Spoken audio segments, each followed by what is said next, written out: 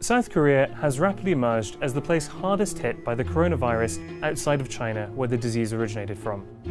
More than half of South Korea's cases are linked to a controversial Christian sect called the Shincheonji Church of Jesus. Was founded and is still run by this man, 88-year-old Lee Man-hee. 두 가지 부분에서 확진 환자가 증가하고 있습니다. 어, 대구 신천지 교회의 어, 신도와 접촉자 중심과 그리고 We are sincerely urging everyone recognize that Senjunji Church and its devotees are the biggest victims of the coronavirus.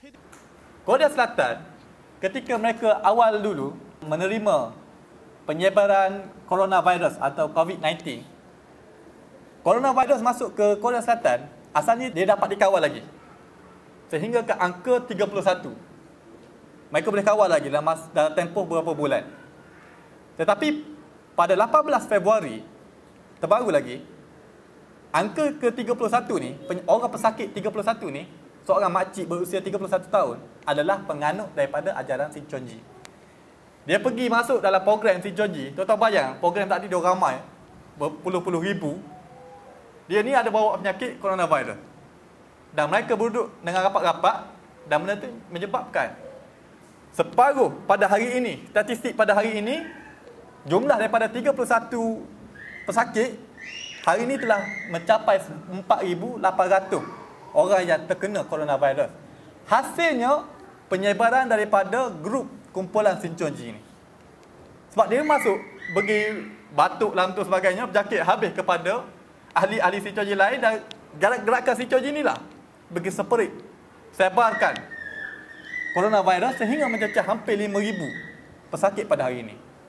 Lepas pada orang duk kecam dia, orang duk serang dia sehingga pada hari ini menjadi tak terkawal dan Korea menjadi ranking kedua terramai yang terkena wabak Wuhan ni, Wuhan virus ataupun coronavirus ni sehingga Lee Man Hee ni terpaksa sujud ke lantai dia nak minta maaf.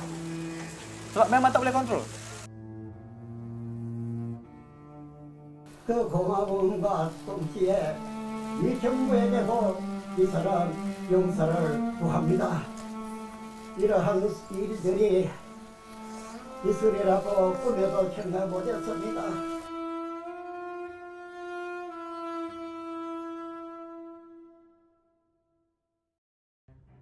Tuan-tuan baca ni daripada rapor, laporan uh, berita harian yang mana mengatakan bahawa daripada jumlah kes itu ni masih baru lagi ya pada hari ini dah mencapai mencecah 5000 39 kes berkaitan rapat dengan gereja Sinchonji di Daegu ya dan bawah tu tuan-tuan baca dia kata Sinchonji bukan Sinchoni sebenarnya dia typo Sinchonji sering didakwa mengamalkan ajaran sesat malah mendakwa ketua mereka Lee Man Hee sebenarnya sebenarnya adalah Nabi Isa dan akan membawa 140,000 pengikutnya ke syurga bersamanya pada hari kiamat. Yang ini dilaporkan dalam berita harian. He desires to make that known to all churches, and I am a messenger sent to testify on behalf of that.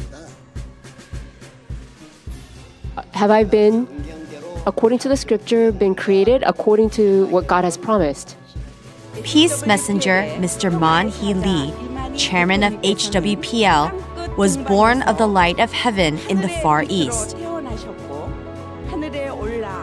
He went up to heaven and received orders from heaven. He received the hidden manna, the white stone, and the scepter. Bahagian Kementerian Dalam Negeri Singapura sebelah kita ya. Pada hari ini hangat mempermainkan isu ni. Sinchonji. Dan Singapura bakal mengharamkan gerakan Sinchonji di Singapura. Dan antara beberapa orang penganut Sinchonji masuk ke Singapura memang terkena coronavirus. Malaysia bila lagi?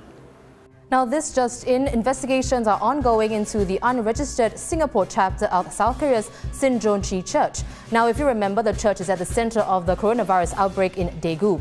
It's also attracted accusations of being a cult due to its unorthodox teachings. Now, based on investigations, the Home Affairs Ministry believes that the chapter here has used similar deceptive recruitment methods. Five South Korean nationals and two Singaporeans are helping with investigations.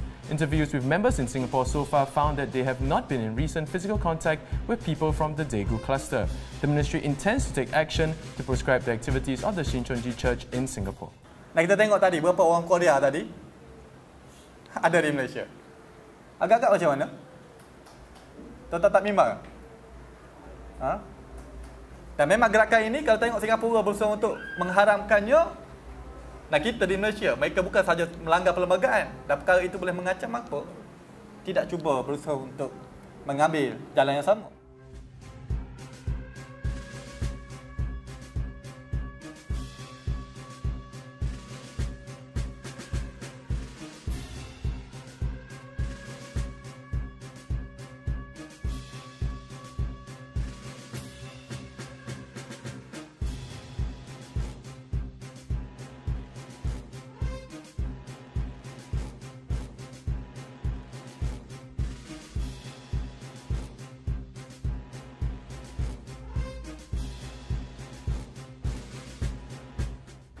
Dia nak bawa Liman ini orang yang realistik. Kita pasal cerdik lah. Yang mana pada zaman sekarang ni macam mana dia nak suruh orang iktiraf pimpinan mereka Liman ini sebagai Rasul akhir zaman. Nak tak nak dia kena deal dengan situasi pada zaman sekarang. Lalu dia memperkenalkan undang-undang antarabangsa yang mana mengatakan dia nak bawa keamanan. Lalu bila benda ni digazet, diluluskan bawah United Nation ataupun PBB, maka dia akan menjadi kepala untuk membawa undang-undang antarabangsa ni. Maka orang melihat bahawa dia lah orang yang bawa keamanan. Situ sebenarnya untuk nak capai pada konteks demokrasi pada hari ini. Maka dia lalu dengan saluran membawa sokongan deklarasi ini. Dan macam mana dia nak dapat sokongan ni? Ah, yang ni dia masuk ke sekolah-sekolah. Dia masuk, tuan-tuan tengok. Dia masuk ke sekolah, majoriti orang Islam Melayu jadi suruh pelajar kita ni isi borang ataupun tulis surat dia panggil peace letter. Surat keamanan. Nama sedap lah, camouflage ni. Dan tuan tengok ni sekolah apa? Peace letter campaign. Eh, sekolah agama Al-Quran wa Din. Ah, sekolah agama tu masuk tu. Dia tak pilih sekolah Tianghua ke, sekolah Cina, sekolah India, Tamil tak masuk. Dia pilih sekolah Melayu dan dia pilih sekolah agama Islam. Dan dia tengok dia promote peace letter. Ni sekolah lain pula sekolah menengah majidi baru. Banyak dia masuk ke sekolah-sekolah. Aktif berprogram untuk buat peace letter. Pelajar-pelajar kita tak tahu. Cikgu bagi, tulis surat. Bagi kat dia, dia kumpul surat tu. Lalu dia menunjukkan bahawa tengok di Malaysia berapa ramai orang menyokong deklarasi kita. Dia akan bawa jumlah tu untuk United Nations luluskan. Okay?